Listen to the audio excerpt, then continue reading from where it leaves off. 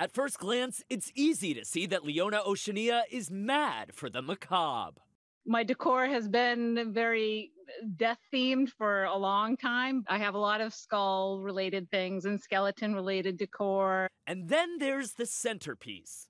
Probably the most talked about piece is the the coffin that I built that's now the bookcase in the corner.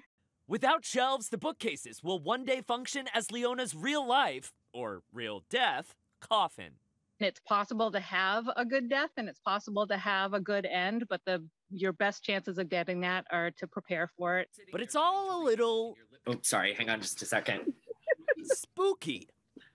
Nothing like having a conversation about death and then the lights go out mid interview. Leona says she's fine with having her future coffin as a permanent presence in her house. The awareness is what's important to me. Like it's important that I am aware that it's coming and that's how you live your best life. It's a story we first spotted in the Wall Street Journal. Leona, just one of many getting in on the DIY coffin trend.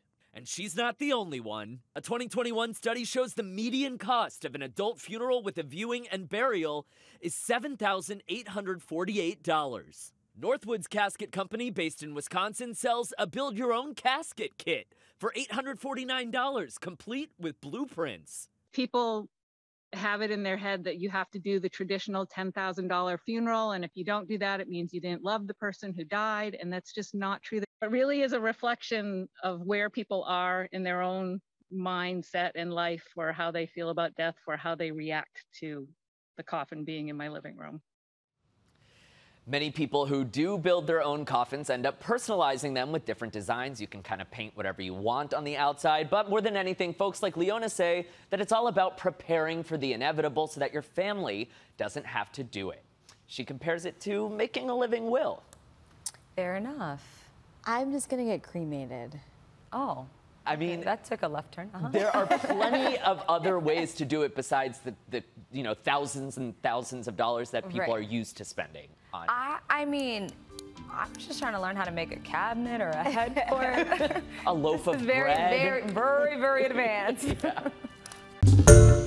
Hi, everyone. George Stephanopoulos here. Thanks for checking out the ABC News YouTube channel. If you'd like to get more videos, show highlights, and watch live event coverage, click on the right over here to subscribe to our channel. And don't forget to download the ABC News app for breaking news alerts. Thanks for watching.